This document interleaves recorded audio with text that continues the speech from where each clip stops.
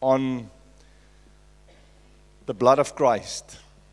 And I was busy with my message yesterday, yesterday morning, yesterday late afternoon, and I was heading in a certain direction.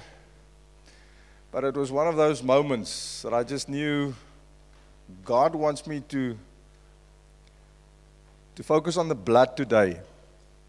You all, you all know that song, There is power, power, wonder working power in the precious blood of the Lamb. Ons het al. Uh, I'm not so sure what percentage of born again Christians know anything about the power of the blood of Jesus. And I was so excited this morning when I left home. I listened to RSG in the car. and There was this amazing testimony of a man who was in a, a car accident and uh, he was injured terribly. He died twice. They brought him back to life once at the scene and once in the helicopter. And uh, he was declared brain dead. But there was one medical doctor who was a born again Christian um, supporting him uh, at, at ICU. And for some or other reason, this doctor just believed uh, that this man was not supposed to die. And his, his colleagues said, Look, this man is brain dead. There's absolutely nothing that we can do. And he mentioned all the injuries, from head injuries to broken ribs, fractures, and ugh, terrible. And uh, make a long story short, he gave his testimony. He was healed completely. And after 19 days in the hospital, he was discharged without a single operation. And then he ended his testimony on RSG this morning and he said, This happened to me because of the power of the blood of Jesus Christ. Now, please hear my heart. It's always a challenge to come up with fresh bread on a Sunday morning. You can have a wonderful sermon, you can have a wonderful message, but it's not time if it's not timely. If it's not food in season, I miss the mark. I miss the point. But that was confirmation. Late yesterday afternoon, after the Lions in Joburg roared, I went back to my study and I was halfway through my preparation for this morning. And I just got I just got this prompting. God wants me to say a few things about the blood of Jesus. And then and I then I prepared for, for that message. I've got four typed pages in front of me. And then this morning in the car, this guy's testimony, I couldn't I couldn't believe it. He ended his whole testimony by saying dit het met my gebeur weens die krag van die bloed van Jesus Christus. Now I know you haven't heard this for the first time, but what I want to do this morning is I want to release verbally. Look, we we live primarily in the spirit realm, not in the physical realm.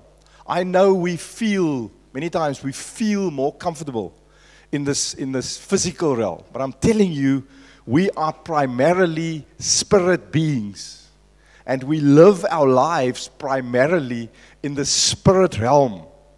And the spirit realm is, is real. And what I want to do today is to release certain words, certain truths, life changing and life giving truths about the blood of Jesus in the spirit realm. You see, the enemy fears, not me, not you, not flesh and blood. He fears the blood of Jesus. And if he hears and take notice that in this house and in all the houses that is represented here this morning, we honor and we esteem high the blood, the precious blood of the Lamb, he will take his hands off. Because he fears the blood. So when we say these things, when we preach it, we release power and divine influence in the spirit realm in Jesus' name. And this is what it's all about this morning. This is very basic. This is so, so basic. I just want to say a few things. I think our ignorance about the power of the blood of Jesus is partly due to a negative connotation attached to words like blood and bloodshed, etc. It's also because of a lack of spiritual understanding about the fact that the life is in the blood. Our 21st century mindset connects blood, listen to this, it connects blood to warfare, to terrorism, to conflict. We see and hear through the media all the negative aspects of bloodshed. Millions of people have died since World War I and II.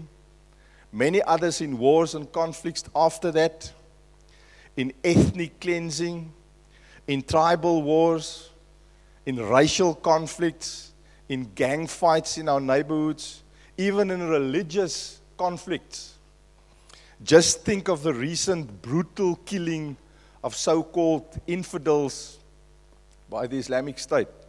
The media feeds us with negative information and it, it leads to a, a negative mindset and a negative perspective about blood. And I just want to throw something in here. You follow the news as uh, in during this build up to next week's elections. And I've read several times about political killings in KwaZulu-Natal where the one ethnic group kill members of the other ethnic group where the members of one political party are killed by members of another party. And that is to eliminate your enemy but you know, as I was pondering on this, the Holy Spirit just said to me this The shed blood of no human being will bring peace. It is only the shed blood of one man, Jesus Christ, that brought peace to our lives. You can assassinate all your political opponents, you can kill them. There can be a lot of bloodshed, and that, what, that is what happened right through the history of man. There can be a lot of bloodshed.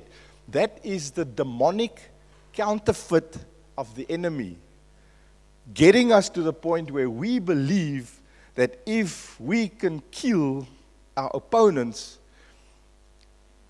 if the blood of our opponents will flow, that will bring peace to the neighborhood. It is only the blood of Jesus that can bring peace to our lives, to our town, our province, our nation.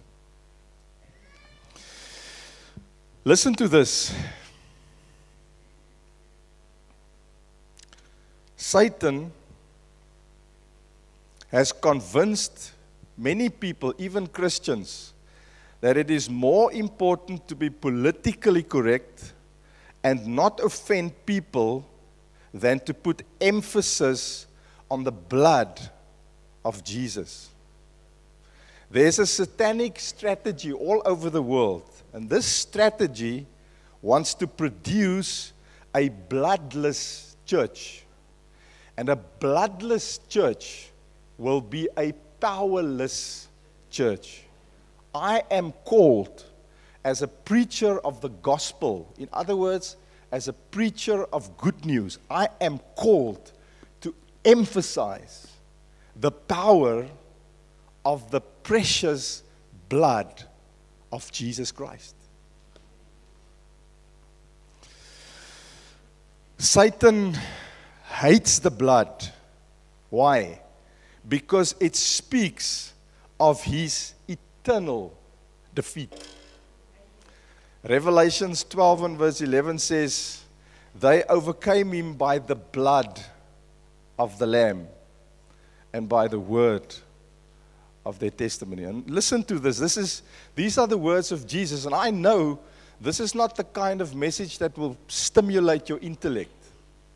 This is the raw gospel as you will find it in the Old Testament and in the New Testament. Listen to this. This is Jesus speaking. And that's why the tables are set this morning. It's from John 6 and verse 53 to 56.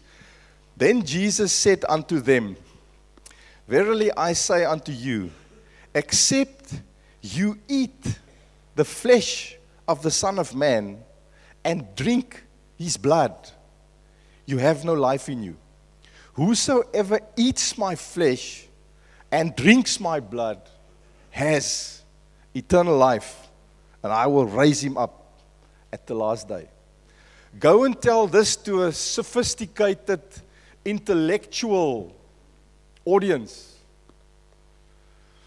Uh, it, it's going to sound strange if they're not born again, if the Spirit of the living God is not residing within them. These three verses from John 6 is not going to make sense to them because you can't grasp that with your intellect. You need your spiritual capacity, your reborn spirit, to understand the significance of these words of Jesus. But these words is exactly what we will celebrate when we gather around the table this morning. We will eat the flesh of the Son of Man, and we will drink his blood, we will partake of the bread of life.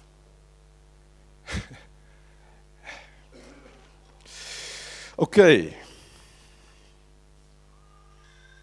Genesis 3, verse 3, uh, uh, verse 7 and verse 21. He saw, I said to a lady made an appointment during the week. I didn't know her from a bar of soap. She just made an appointment.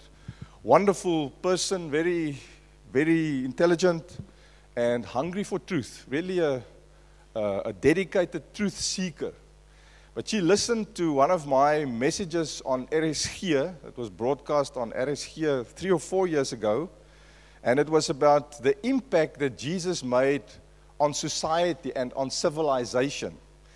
And because she's got this, wat is nou groot inquisitive mind, she and her brother did some research and they came up with a lot of arguments um, trying to prove me wrong historically uh, in certain things that I mentioned in that message.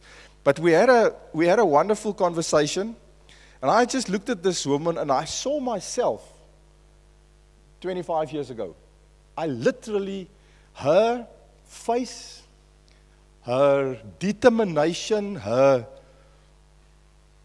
hunger for truth sent her on a mission.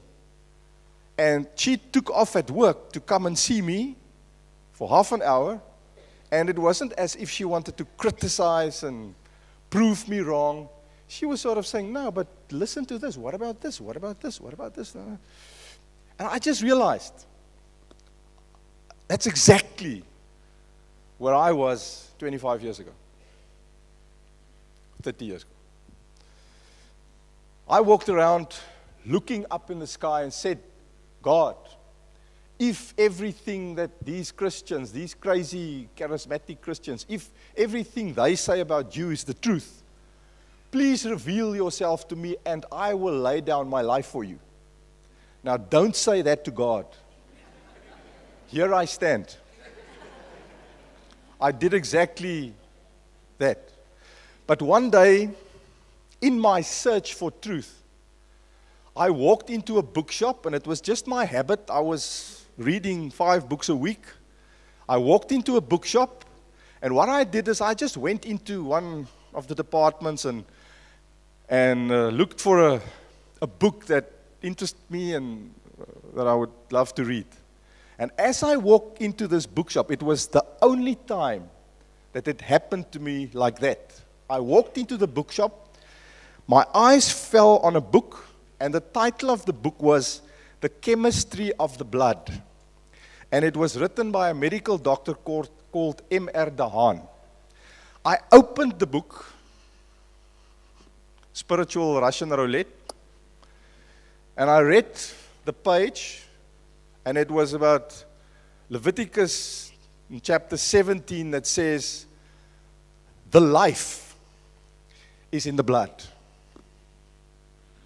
You can be in perfect health wise, you can be in a perfect condition.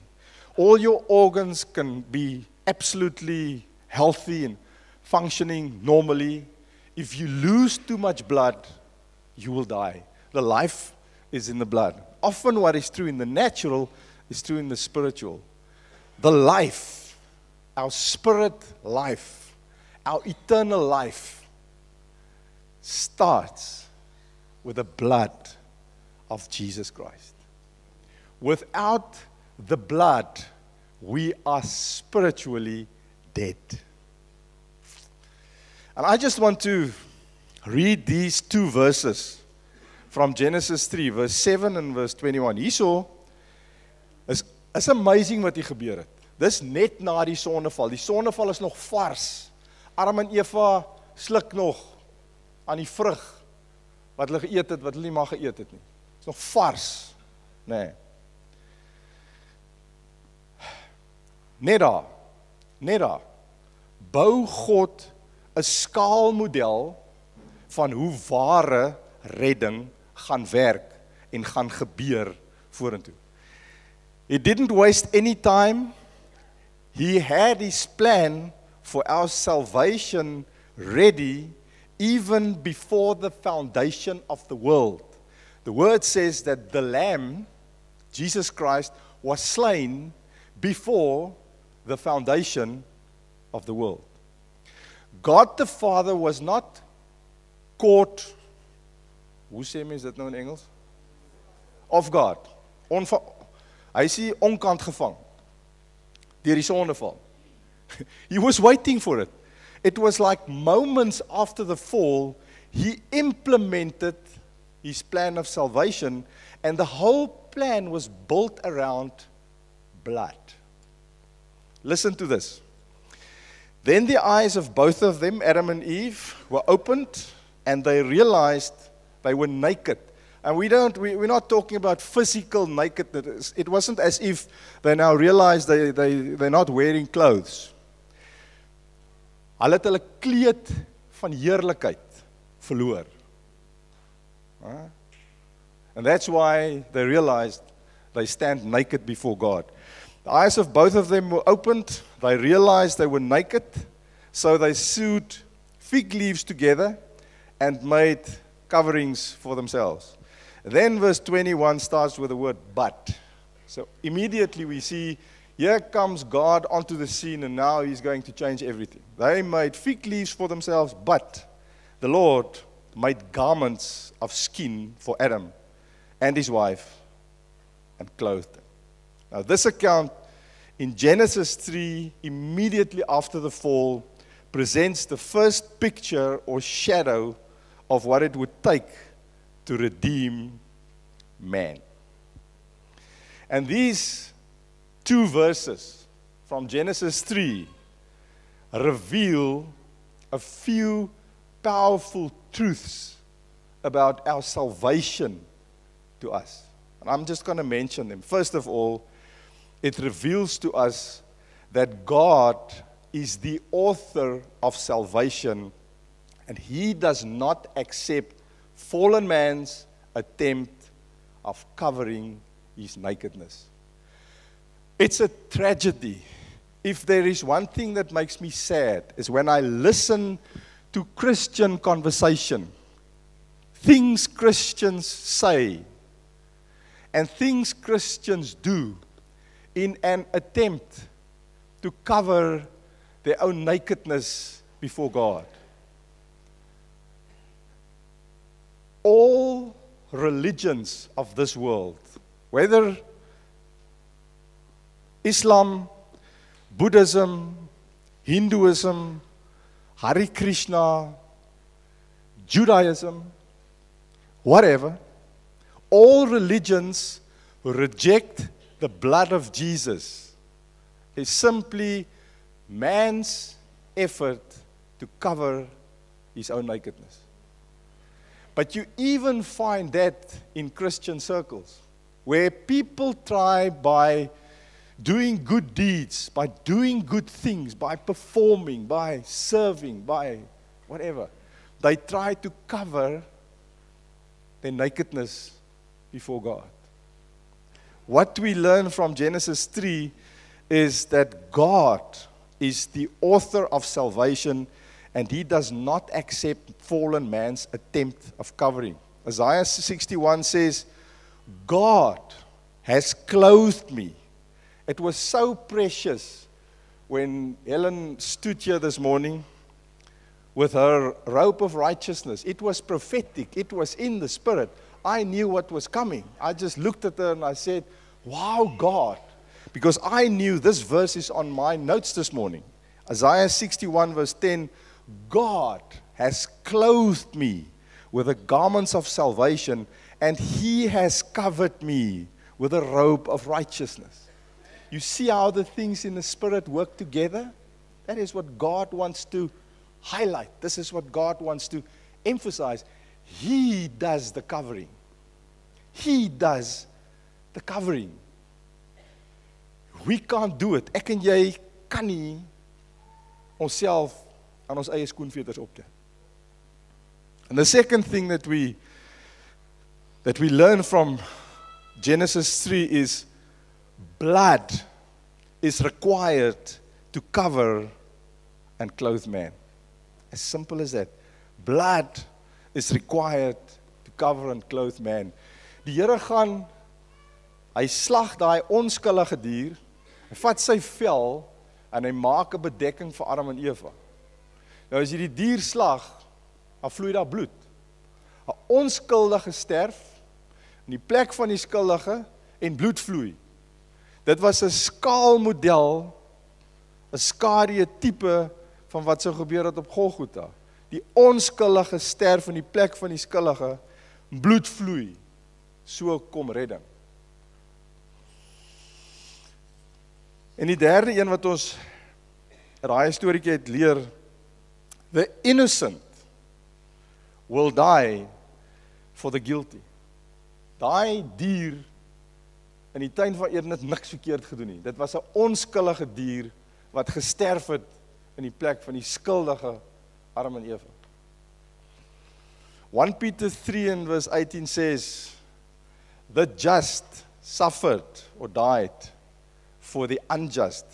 Even Judas who betrayed Jesus realized this when he said Matthew 27 I have betrayed innocent blood.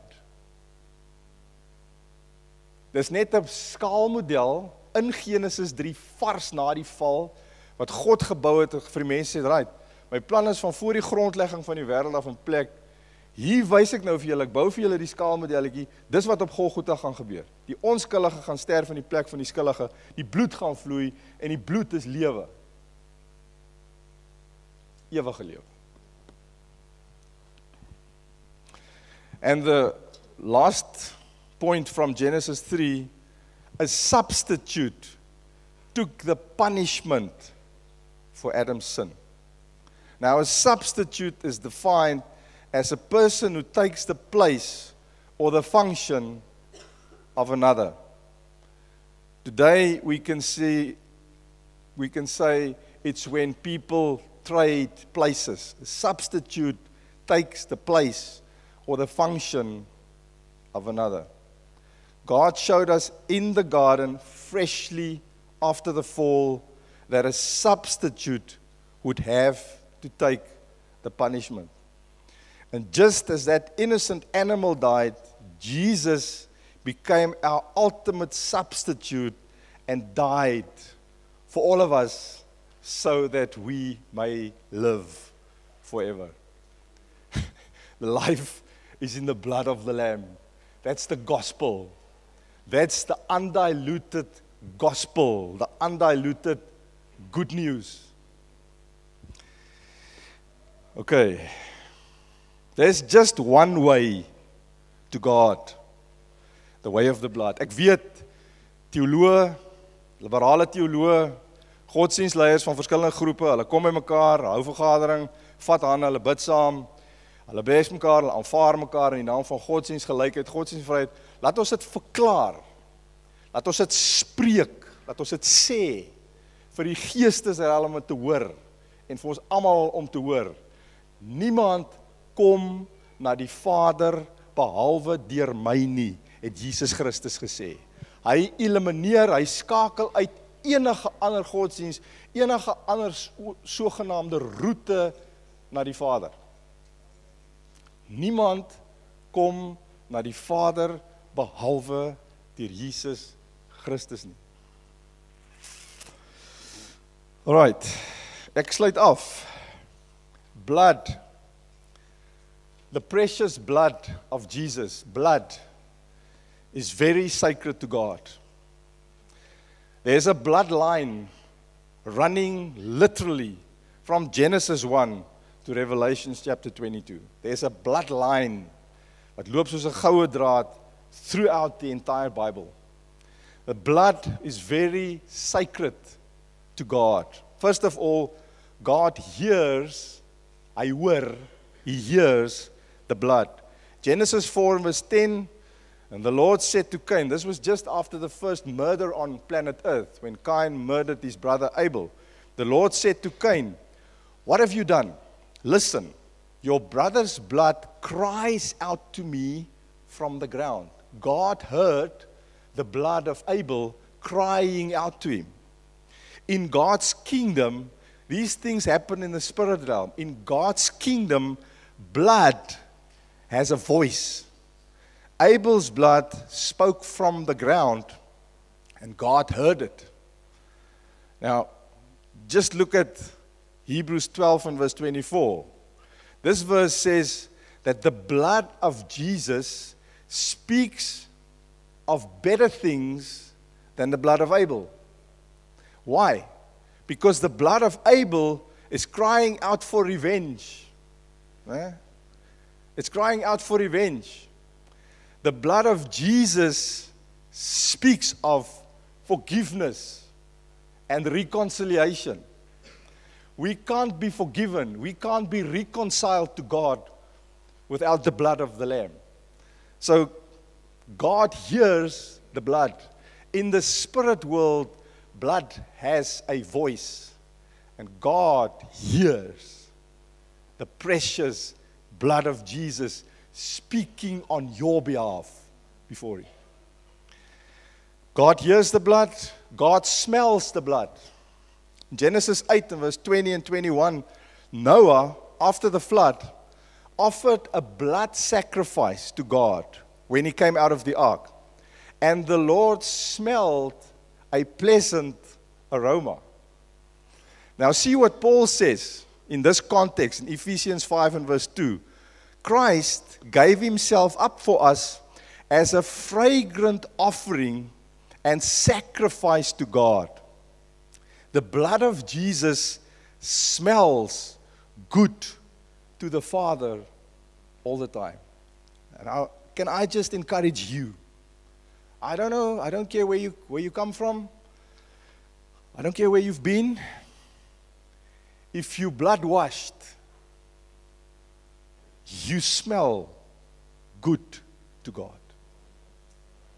It's because of the blood that a 'n aangename geur gaan op en bereik God.